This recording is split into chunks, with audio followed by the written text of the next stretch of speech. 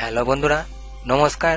যিশুর প্রার্থনা ইউটিউব চ্যানেলে আপনাকে স্বাগত। চলুন আমরা একটা প্রথমে একটু ঈশ্বরকে ধন্যবাদ জানাব এবং একটা ছোট প্রার্থনার মাধ্যমে আমরা ভিডিওটা চালু করব।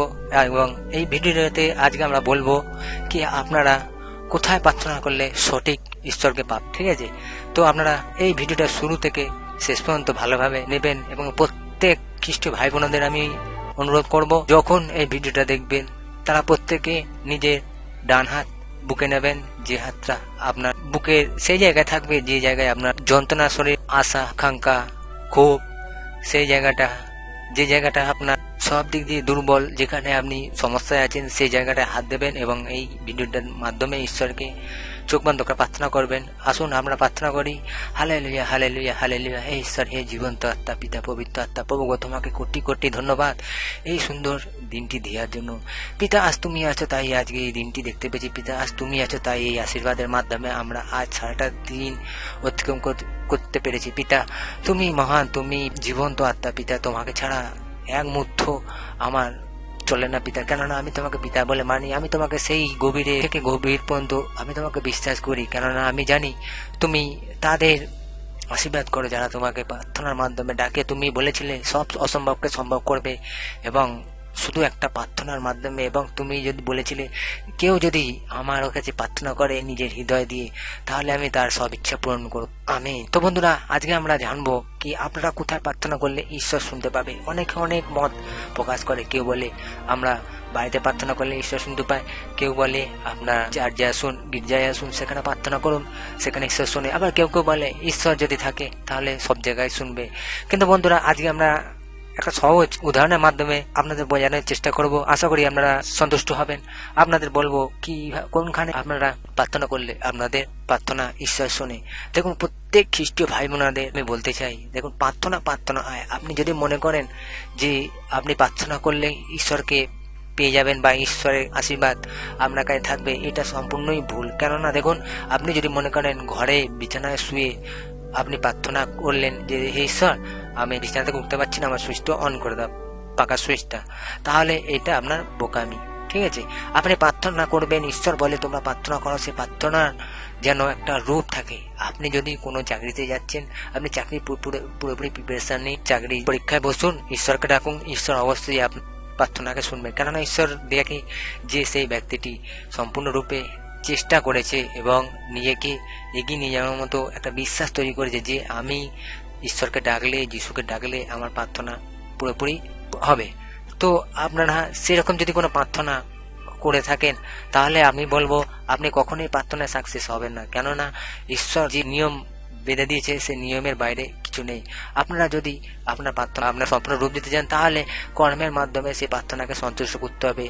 প্রত্যেক মানুষ যে যে ধর্মে থাকে, সেই ধর্মেই করে।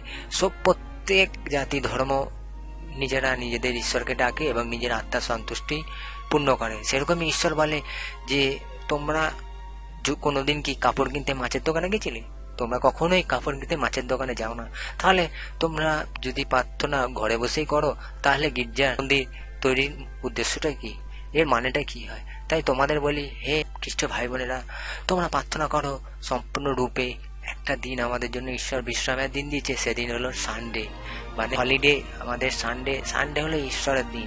আমরা প্রত্যেক ইষ্ট ভাই বোনেরা রবিবার আমরা সকালবেলা গিয়ে বা যার যে যার যে প্রার্থনার টাইম টেবিল আছে, সেই টাইম অনুযায়ী আমরা রবিবার সব কিছু ছেড়ে আমরা ঈশ্বরকে ডাকি এবং সপ্তাহে সাতটা দিন ঈশ্বরকে ঘরেও ডাকি এবং গির্জায় গিয়ে যা যেরকম সময় হয় সেরকম ডাকি।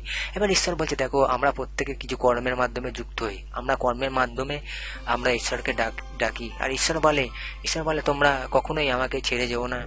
তোমরা যতক্ষণ আমাকে প্রার্থনার মাধ্যমে নিজের কাছে রাখবে, ততক্ষণ তুমি সুস্থ থাকবে। তুমি স্বার্থপরের মধ্যে যদি আমাকে ভুলে যাও, তাহলে কখনোই তুমি আমাকে পাবে না। কেননা স্বার্থপর লোকেরা কখনো কি কখনো ঈশ্বরকে পায় না। ঈশ্বর বলে, তুমি কর্ম করো, পরিশ্রম করো, আর আমার পাথর দাও। আমি নিশ্চয়ই তোমার আশীর্বাদ করব। তাই বন্ধুরা, তো আপনারা যদি ভেবে থাকেন যে ঈশ্বর সব জায়গায় বর্তমান, এটা ঠিকই, ঈশ্বর সব জায়গায় বর্তমান, কিন্তু সব জিনিসের একটা রুটিন বেঁধে দিয়েছে। আমরা যেরকম, আপনারা যেমন মাছ কিনতে, কাপড় দোকানে যান না, সেরকমই কাপড়ওয়ালা কাপড় কিনতে, মাছের দোকানে যায় না, সেরকম ঈশ্বর বলে তোমরা, তোমাদের সব সন্তুষ্ট। মেটাবে তোমাদের সমস্ত প্রার্থনার সাড়া দেবে ঈশ্বর। একমাত্র গির্জায় আসলে। হ্যাঁ তোমরা ঘরেও প্রার্থনা করতে হবে। যখন কারও সময় হবে না, ঈশ্বর সবাইকে ফলো করে। ঈশ্বর সিসিটিভি ক্যামেরার মতো সবাইকে তার নিজের নয়নে রাখে। ঈশ্বর দেখে যে কে কতটা ফাঁকি দিচ্ছে, কে কতটা আমাকে অবহেলা করছে। কারও যদি সময় না হয়, কেউ যদি কাজের মাধ্যমে থাকে, সে যদি তার সময় থেকে দশটা মিনিট বার করে ঈশ্বরকে প্রার্থনার মাধ্যমে স্মরণ করে, তাহলে ঈশ্বর তাকে সব থেকে বেশি বড় উপহার তার জন্য মজুদ রাখে। তাই ঈশ্বর বলে, তোমরা প্রার্থনা যে যেরকম জায়গায় পারো, করো, কিন্তু মেন হলো রবি, একটা দিন।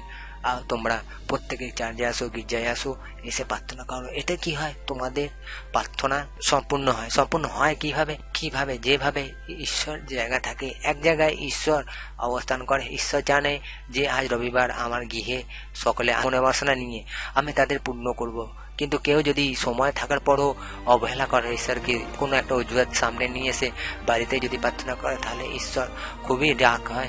কারণ ঈশ্বর চায় না যে তুমি খ্রিস্ট ধর্ম নেওয়ার পরও ঈশ্বরকে ফাঁকি দাও। তোমরা যদি এরকম ঈশ্বরকে ফাঁকি দাও, তাহলে কখনোই তোমরা ঈশ্বরকে পাবে না। তাই তোমরা সকলকে বলি, তোমরা একটা নির্দিষ্ট সময়ের জন্য গির্জায় আসো এবং ঈশ্বরের মনোবাসনা তোমার পূর্ণ করবে, ঈশ্বরকে ডাকো। ঈশ্বর অবশ্যই তোমার সকল মনোবাসনা পূরণ করবে। কেননা ঈশ্বর গৃহ, সকল খ্রিস্টীয় ভাই বোনেদের মনস্কামনার গৃহ, সকল খ্রিস্টীয় ভাই বোনেদের যন্ত্রণা থেকে মুক্ত হওয়ার গৃহ, সকল খ্রিস্টীয় ভাই বোনেদের শান্তি পাওয়ার গৃহ। তাই বন্ধুরা, হয়তো আপনারা বুঝতে পেরেছেন, আমি কি বলতে চাইছি? সেই জন্য আপনারা যখনই প্রার্থনা করবেন ঘরে করুন, আপনার সময় মতো কিন্তু রবিবার সানডে বা অন্য কোনো দিন যদি আপনার প্রার্থনা সময় থাকে সেই চার্জে গিয়ে আপনার আশেপাশে, তাহলে আপনি সেখানে যেতে পারেন। আর রবিবার তো সব জায়গায় থাকে আপনার প্রার্থনা, সব সব চার্জের গিয়ে সব এলাকাতেই।